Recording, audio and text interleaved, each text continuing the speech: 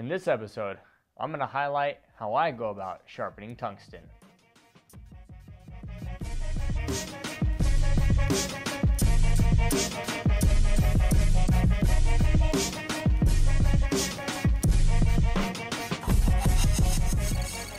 Now normally this grinder itself comes with different pads altogether. It'll normally come with a narrow 80 grit disc and then a soft buffing wheel. Now I tried using these for a little while to sharpen tungsten and actually found this grinding disc to be too aggressive to initially sharpen the tungsten and this one too soft to polish it afterward. So after taking a look on the website and in the store, I come across these two discs here. Now they didn't really highlight a, a grit rating on either of these, uh, at least none that I had noticed. Um, but I've actually found over the last several years that they're a perfect grit for polishing or for grinding first off and polishing a tungsten.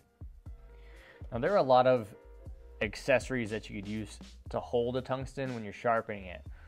Uh, one that's kind of getting popular is a uh, using a Dremel or a drill, something to that effect, to actually spin the tungsten. The only advantage of that that I don't really have by sharpening it by hand is that you get the opportunity to kind of swipe across your uh, grinding wheel. It prevents these grooves from forming from sharpening the tungsten. Uh, every so often I've got to come down and knock down these ridges so I can get fresh surface to, to grind to. Now it's really just a matter of bad habit. I don't really see it as a negative side effect. Uh, it just adds a little extra wear and tear. Now for myself, kind of got a little bit of bad habit uh, formed and it might take a while to break that. It might take actually getting a Dremel or something like that dedicated for grinding a tungsten. The only reason I haven't at this point is that's one extra tool that I need to go and chuck up to sharpen a tungsten. It's pretty quick and easy for me to just hold it by hand and sharpen it as I have been. So it's uh, kind of a time saver for me.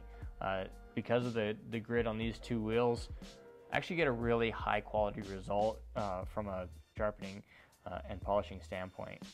Um, I'm sure there are going to be comments, and I look forward to comments of individuals and how they go about sharpening and maybe get a better result and like to maybe implement those as well. Now, normally they say when you're sharpening a, uh, a tungsten that you actually grind in the direction that the wheel is spinning. So obviously it spins downward as every other grinder in the world does probably. Uh, in that case, you would sharpen in motion like this. Now, I've come to find a better result by sharpening in the opposite direction. Now, normally the problem with doing that is that the tip can get red hot and break off and actually become a projectile. I haven't really had an issue with that ever in the sense that I usually sharpen from the from the outside diameter, the the furthest point towards the tip, and it's actually prevented anything like that from happening to me. So I'll start a little bit further back and then rock into that tip just as much as I need to. It allows me to get a nice needle-like point without that tip breaking off, and it's had really great success. The Scotch-Brite pad being a little bit more aggressive, naturally you're going to want to sharpen that in the, the normal direction downward, and it's worked out perfect. Uh, there might be a, a, better grit out there if I uh, do a little bit of research or if somebody happens to mention something like that, I'd be happy to try that. But whatever these two end up being, um, it's definitely worth worth giving it a shot. Now, normally these two discs uh, come on one of the bench grinders that Harbor Freight sells. Uh, they call that their uh, three inch tool grinder with the flex shaft on it. It's basically like a Dremel tool that's mounted to the side.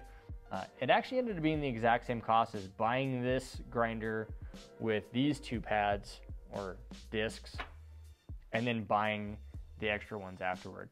Now the reason I like this one is that I don't have either that flex shaft sticking off the side or a tool in my toolbox that I don't really use. This is pretty much dedicated strictly to grinding tungsten and it stays on my TIG welder. So I don't move it around, I don't do anything extra with it. Uh, once I have my water cooler mounted in a better situation, I might permanently mount this to the top. I haven't decided yet, but that way I don't have extra tools. I've got plenty of die grinders and stuff like that where I don't need one sticking out the side of my uh, tungsten sharpener. So, so that's pretty much the gist of the video. Short, sweet, to the point. Thanks for watching.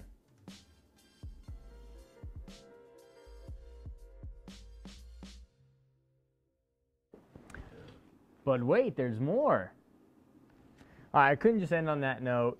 Uh, it would kind of bother me if I didn't go the uh, the Dremel route as well. So, seeing as I have a little Dremel and a collet body that fits a 330 second tungsten, I couldn't resist but add to the video. So I'm gonna go and chuck it up, grind it, see what the difference is, and uh, kind of go from there. Again, I'm not the biggest fan of this because you got to mess with plugging in another tool and messing, you know, chucking it up, and sometimes the the tungsten will stick, uh, like any Dremel tool, stick in the collet. You got to take it all apart. Just a kind of extra time. I don't know if I'm gonna get any better results, so I'm gonna chuck it up. We'll give it a shot and see if there's any benefit to doing it. One other thing I don't like necessarily about the idea of the die grinder is that it can wobble out of balance. Oh, cleaned up pretty well. All right, let's give it a go.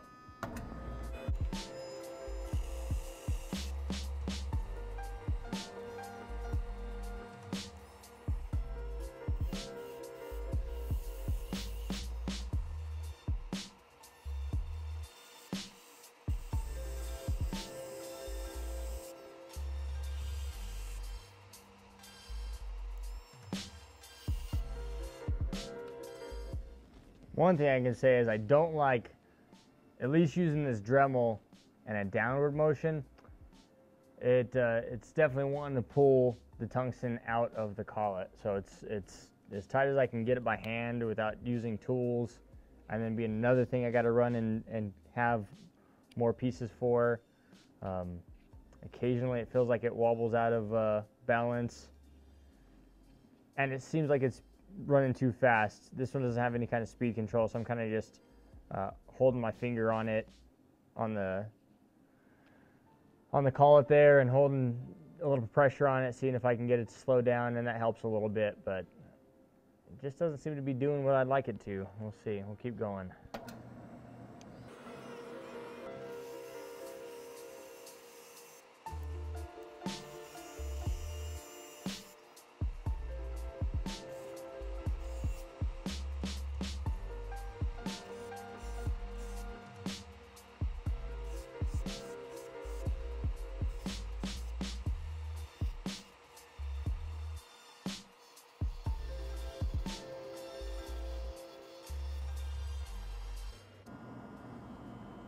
That's showing, but man, that is wobbling all over the place.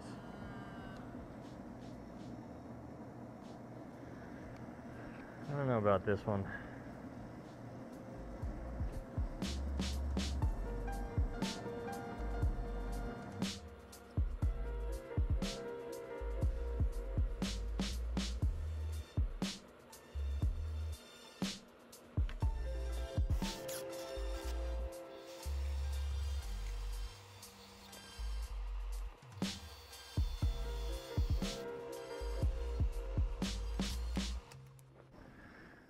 All right, I can't speak uh, very positively of, of the die grinder. I think even a, a good die grinder would uh, have some issue with uh, some wobble. Then you got a bunch of collets to change out for every uh, diameter tungsten that you end up using.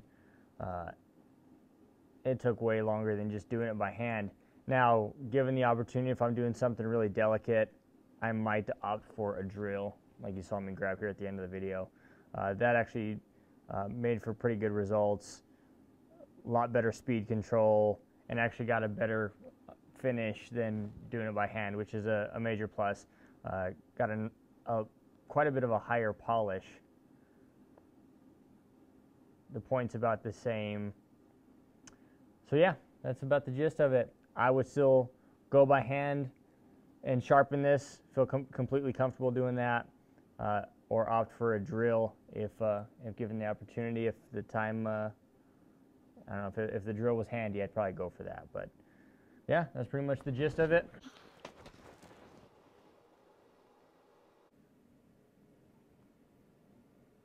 And there's using a drill. Well, that's uh, that's it for this video. Hopefully you found something enjoyable in it. Hopefully there was something informative, and uh, I'll keep doing these things. So like, subscribe, give me some feedback. If there's something that uh, I could have done better or different, feel free to let me know. Always interested in getting a little bit better results. Have a good one.